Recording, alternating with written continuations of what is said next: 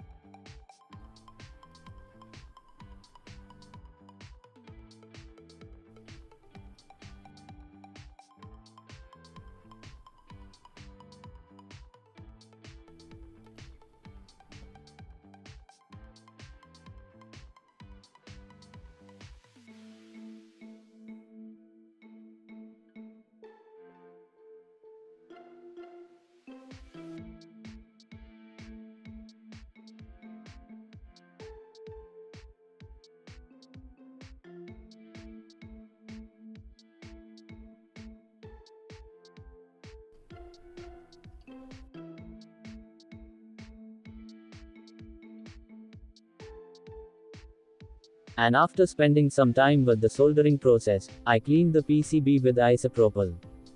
And here our PCB is looking nice and clean.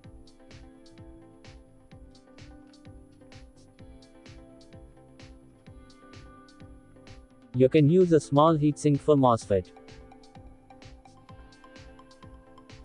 Use thermal paste for better heat dissipation.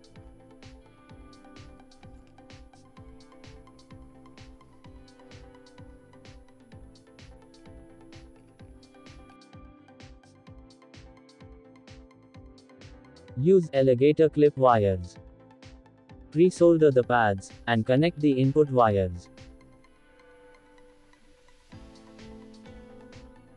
In first test I will use the 10 watt LED as load. Connect LED positive at output and negative with common ground. Now our circuit is ready to test.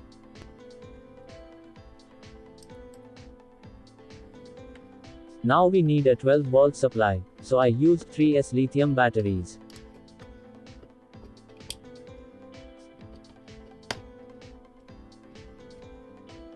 Connect the battery with the circuit.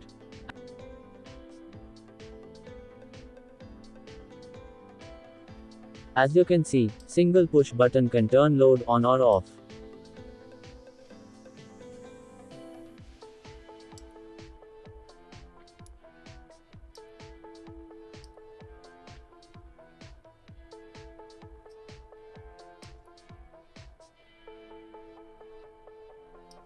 Now let's try with this motor.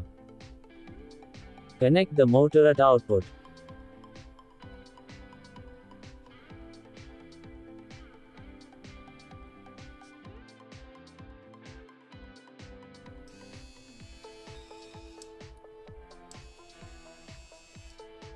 As you can see, it also works perfectly. Now if you want to control AC load, connect the output with relay coil pins. This circuit will supply DC to the, the relay and connect one AC wire directly with bulb, and another through the relay common, and normally open pins. And you'll be able to turn the bulb on or off, with single push button.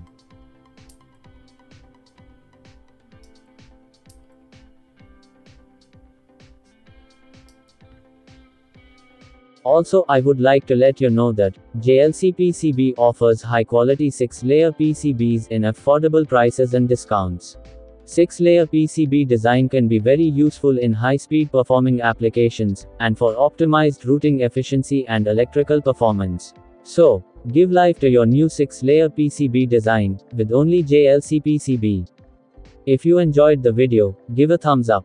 For more useful videos, subscribe the channel. Also check out these recommended videos. Thanks for watching.